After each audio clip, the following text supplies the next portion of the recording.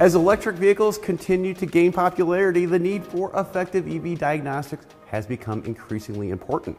The complex electrical systems and power electronics that drive these vehicles requires specialized knowledge and tools to diagnose and repair. Understanding the intricacies of electric vehicle diagnostics is crucial for technicians and even EV owners to ensure the optimal performance and longevity of these cutting edge vehicles.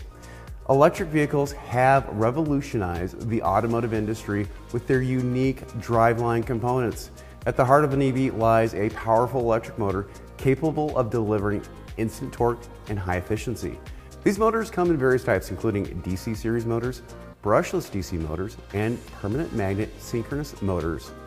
Each type has its own advantages, such as the high torque output of a DC series motor or the compact design and the improved heat management of a brushless DC motor. The battery system is another crucial component, typically consisting of lithium ion cells.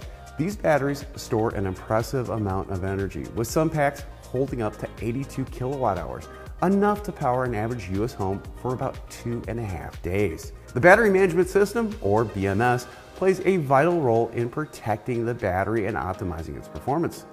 The power electronics form a bridge between the battery and motor, converting DC to AC as needed. Lastly, the transmission in the EV is often simplified to a single gear system, thanks to a wide RPM range of electric motors. This design contributes to the overall efficiency and smooth operation of electric vehicles. The world of electric vehicle diagnostics has evolved rapidly, bringing forth a range of specialized tools. OBD2 scanners, originally designed for conventional vehicles, now play a crucial role in the EV diagnostics. These devices can read and clear diagnostic trouble codes, helping technicians to pinpoint issues quickly. Battery testers, specifically crafted for EVs, assess the battery health by measuring the state of charge, voltage, and temperature. These are essential for identifying potential battery failures or damage.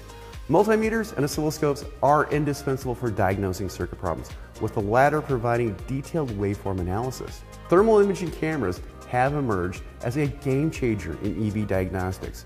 These non-invasive tools use infrared technology to detect temperature variation, revealing hotspots in the batteries, motors, and high voltage components.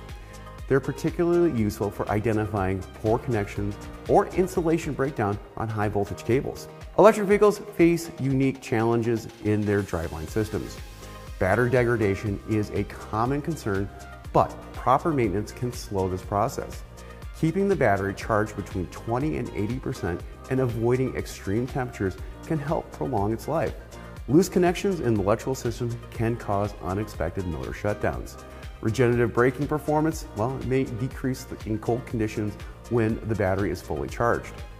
Charging problems can stem from cold temperatures, shared loads at public stations, or software updates. Regular monitoring and proactive measures are the key to maintaining optimal EV driveline performance.